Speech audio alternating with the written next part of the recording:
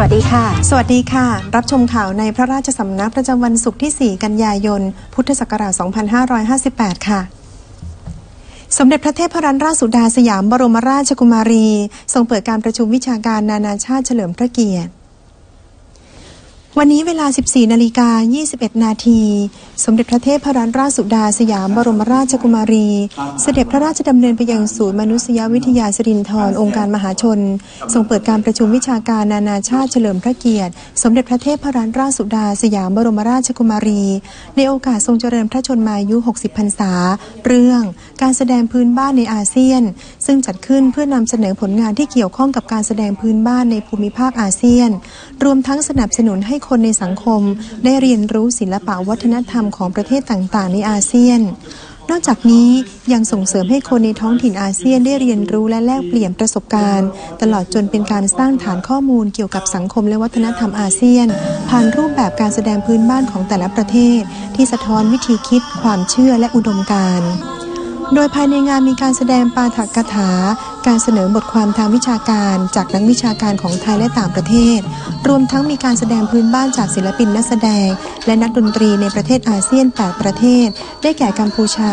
อินโดนีเซีย มาเลเซีย พม่า ฟิลิปปินส์ สิงคโปร์ เวียดนาม และไทย ซึ่งได้แลกเปลี่ยนความคิดประสบการณ์ด้านการแสดงในหัวข้อต่างๆ อาทิ วิกฤต และการคุ้มครองการแสดงพื้นบ้านในอาเซียน การเมืองกับการนำเสนออัตลักษณ์ชาติ ผ่านการแสดงพื้นบ้าน การสร้างเครือข่ายความร่วมมือ และการแลกเปลี่ยนการแสดงพื้นบ้านระดับนานาชาติ สมเด็จพระเจ้าลูกเธอเจ้าฟ้าจุฬาภรณ์วลัยลักษณ์อัครราชกุมารี ทรงบรรยายเรื่องผลิตภัณฑ์ธรรมชาติที่มีฤทธิ์ในการต้านและป้องกันมะเร็งจากทรัพยากรชีวภาพของไทย พระราชทานแก่ผู้เข้าร่วมการประชุมวิชาการ ของสมาคมพฤกษเคมีแห่งภูมิภาคเอเชีย 2015 ณ เมืองโทคุชิมะประเทศญี่ปุ่น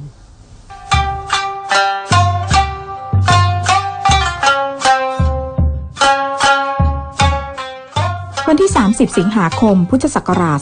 2558 เวลา 11นาฬิกาตามเวลาท้องถิ่นของประเทศญี่ปุ่น สมเด็จพระเจ้าลูกเธอเจ้าฟ้าจุฬาภรณ์วลัยลักษณ์อัครราชกุมารี ทรงบรรยายพระราชทานแก่ผู้เข้าร่วมการประชุม ในการประชุมวิชาการของสมาคมพฤกษเคมี แห่งภูมิภาคเอเชีย 2015 ณ มหาวิทยาลัยโทคุชิมะ เมืองโทคุชิมะประเทศญี่ปุ่น เรื่องผลิตภัณฑ์ธรรมชาติ ที่มีฤทธิ์ในการต้านและป้องกันมะเร็ง จากทรัพยากรชีวภาพของไทย โดยมีนักวิทยาศาสตร์ นักวิจัย ทั้งในภาคการศึกษา ภาครัฐ ตลอดจนภาคอุตสาหกรรมจากนานาประเทศ ให้ความสนใจเข้าร่วมฟังเป็นจำนวนมาก โอกาสนี้สมเด็จพระเจ้าลูกเธอเจ้าฟ้าจุฬาภรณ์วลัยลักษณ์อัครราชกุมารีทรงได้รับเชิญเป็นผู้บรรยายนำเปิดการประชุม โดยในการประชุมนี้ มีผู้ร่วมบรรยายได้รับเชิญจากสถาบันชั้นนำ 31 คน และการเสนอผลงานในรูปแบบอื่น ๆ อีก 185 ผลงาน จากผู้เข้าร่วมประชุมมากกว่า 400 คนจาก 27 ประเทศทั้งนี้สมเด็จพระเจ้าลูกเธอเจ้าฟ้าจุฬาภรณ์วลัยลักษณ์อัครราชกุมารี ในฐานะทรงเป็นสมาชิกกิตติมศักดิ์ ของสมาคมพฤกษเคมีแห่งภูมิภาคเอเชีย และในฐานะทรงเป็นประธานสถาบันวิจัยจุฬาภรณ์ทรงบรรยายถึงประโยชน์ ของทรัพยากรชีวภาพของไทยที่มีอยู่อย่างมากมาย ทั้งพืช สัตว์ทะเล และจุลินทรีย์ต่างๆ ซึ่งเป็นทรัพยากรที่สำคัญของผลิตภัณฑ์ธรรมชาติ ที่อาจนำมาพัฒนาใช้เป็นตัวยาใหม่ๆเพื่อช่วยบรรเทาและรักษาโรคต่างๆ ได้ รวมถึงการดื้อยา และเชื้อไวรัสที่คุกคามชีวิตมนุษย์ ดังนั้นผลิตภัณฑ์ธรรมชาติที่มีสารเคมีที่สำคัญหลายตัว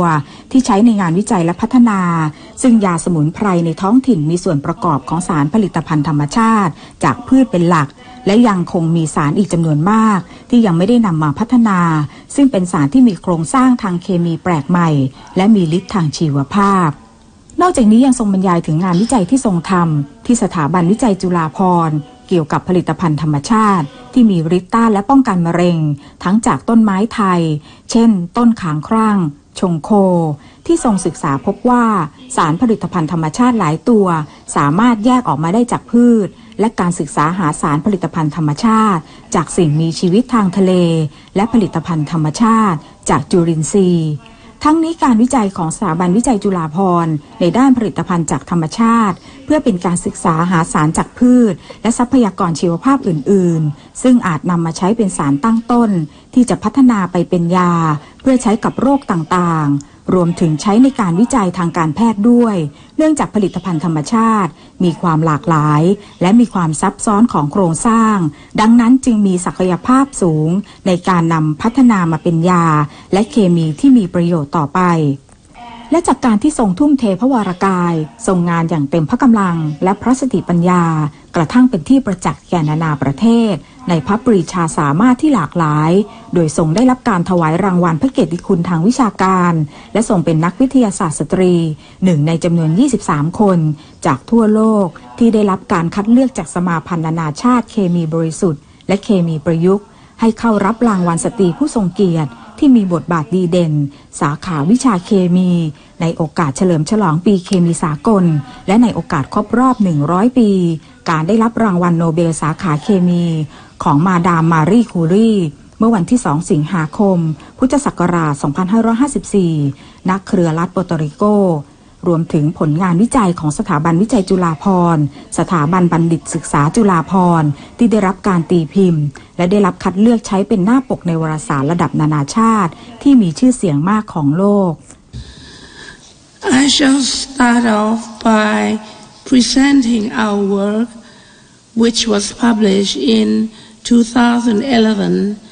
and continuing up to now. The year 2011 was declared the International Year of Chemistry. Coincidentally, that year also coincide with the 100th anniversary of Nobel Prize being awarded to Madame Marie Curie. European Journal of Organic Chemistry celebrated both these events by assembling a special issue dedicated to women in chemistry. This issue was planned to include contribution from leading women in organic chemistry who have contributed significantly to their field. From our finding, these cardinane sesquiterpene are very promising for further investigation for the development of therapeutic agent for treatment of breast cancer. Our work was published earlier this year in Chemistry, an Asian journal, and the paper was highlighted in the main cover of the journal. ภายหลังจากการทรงบรรยายพระราชทานแก่ผู้เข้าร่วมการประชุมแล้ว ดรโยชิเนริอาสากาวะ ผู้อำนวยการสถาบันเภสัชเวชประธานสมาคมสารพฤกษเคมีแห่งเอเชีย และประธานการประชุมสารพฤกษเคมีแห่งเอเชีย แสดงความซาบซึ้งในพระกรุณาธิคุณ ที่เสด็จมาส่งร่วมการประชุม และทรงบรรยายพระราชทาน แก่ผู้เข้าร่วมการประชุม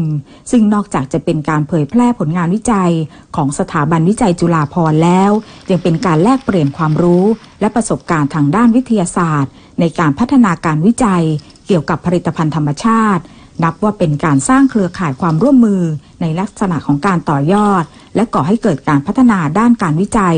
รวมถึงก่อเกิดประโยชน์ต่อประชาชนและประเทศชาติต่อไปในอนาคต Thai princess, you know, uh, with us, and then to present such an excellent, super talk, and I, we are so impressed by, you know, her, you know, presentation, including natural products, which have been many activity, viral activity, particularly the cancer, you know, active compound from Thai natural resources. We are very impressed. Yes. โทรทัศน์รวมการเฉพาะกิจแห่งประเทศไทยรายงาน